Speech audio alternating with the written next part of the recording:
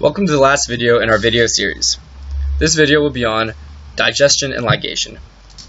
Restriction enzyme digestion, or simply digestion, involves using restriction enzymes in order to cut into certain spots on a DNA molecule.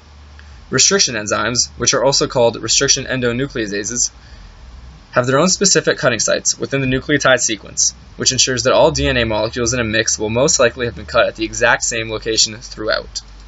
This method is extremely powerful because numerous commercially available restriction enzymes have been synthesized, thus allowing researchers to cut at extremely specific places. An example of a restriction enzyme is SFI1.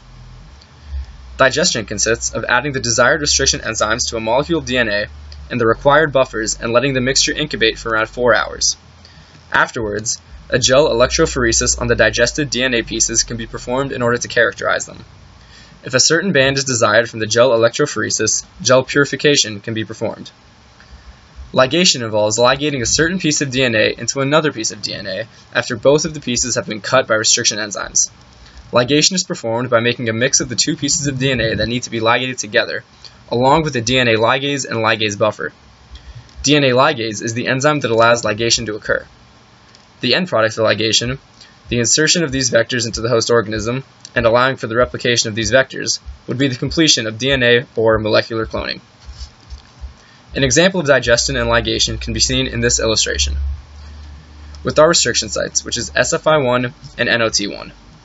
As you can see, the two plasmids have restriction sites, SFI1 and NOT1 at these spots. We incubate both of these with the restriction enzymes SFI1 and NOT1. We run the digested products through a gel, which will separate the digested products, and for the vector, we can cut out the band that did not travel as much, which is the vector with the sequences between SFI1 and NOT1 cut out.